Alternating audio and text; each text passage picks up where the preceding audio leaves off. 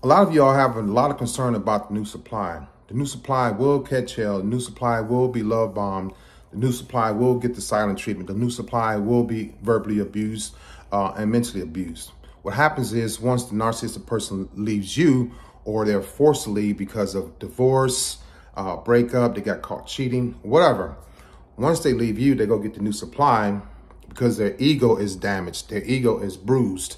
They are hurt. And so they have to go and find that new person to be a new person to a new person.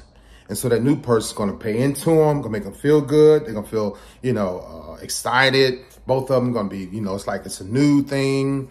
Uh, Leon is great. Leon is amazing. No, Leon is not great. Leon is not amazing, but she thinks so because everything is new to her, right?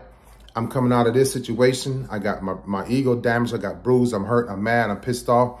So let me go and start over. Narcissistic people can start over easily. They detach, run, avoid escapism, um, and then go to the next person.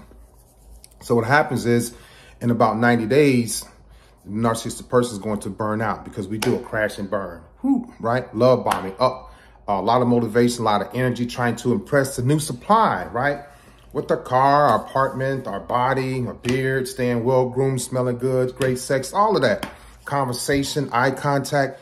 We start over because we're damaged goods. So we don't want to be damaged good because we have to make people think that we're good. We're great. We're the best thing you've ever had.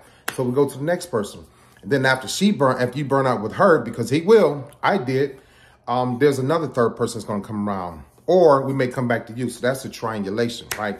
Three people, right? Triangulation. Leaving the old one, going to the new one, leaving the new one, kind of fresh, going to the another one because going to always keep people in rotation, right?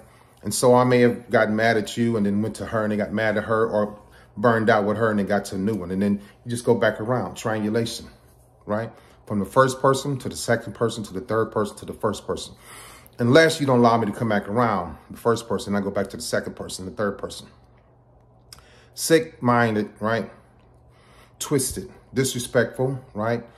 Um, unhealthy, risky, all of that, dangerous. But narcissistic people don't have a fear gene when it comes to getting caught uh, lying, cheating, or anything like that. Because we suppress those emotions, that fear, that being caught, that I'm in trouble. Because I was in trouble as a kid I like that feeling. So as an adult, you're not gonna you're not gonna get me in trouble. You're not gonna make me feel like I'm in trouble because I suppressed that. I got caught. Nope.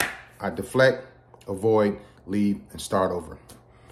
Second person, third person, triangulation. It's not a hard either, ladies and gentlemen. Y'all have a great day.